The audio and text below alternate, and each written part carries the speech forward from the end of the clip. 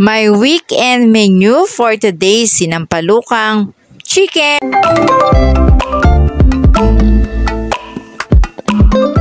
Friendly people! Good day po sa inyong lahat. Happy weekend everyone! For today's video, samahan niyo po ako. Tayo mag-kitchen adventure at tayo ay magluluto ngayon ng sinampalukang chicken. Main ingredients, meron tayong sibuyas, bawang, luya, tapos ito yung favorite natin, syempre yung chicken, usbong ng sampalok.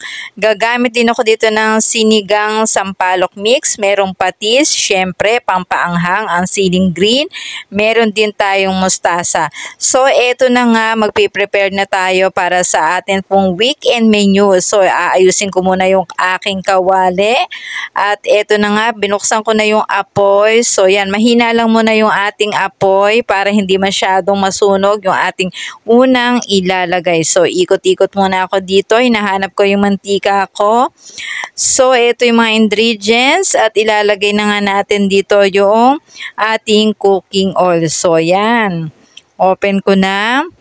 Ilagay na natin ang mantika. To ilalagay ko na yung ating luya. Tapos halo-halo at syempre konting pause. Ayan. So halo-halo na naman natin yung ating mga nila hinina ko na muna dito yung apoy para hindi masunog yung aking ilalagay. So next nilagay ko na nga dito yung sibuyas. Halo-halo na naman. Ito na yung sibuyas, luya at yung bawang. So next procedure lalagyan na natin siya ng patis. Yan, halo-halo naman natin para mag-mix sila together ang aming weekend menu. So, syempre, ito na yung pinaka-special. Ito yung paborito natin, ang chicken. So, ito, after nyan, halo ko na naman siya. Nilagay ko na yung siling green na isa sa nakakapagpayami ng sinampalukan.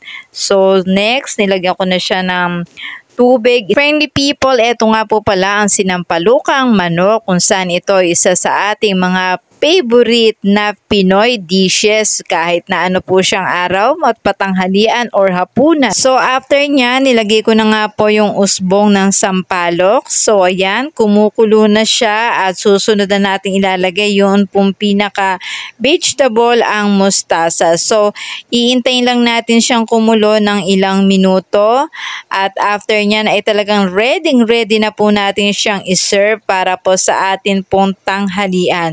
So So, ito ang aming weekend menu for today, ang sinampalukang manok at talaga naman pong napakasarap. Bye everyone! Thank you for watching our weekend menu for today, sinampalukang manok.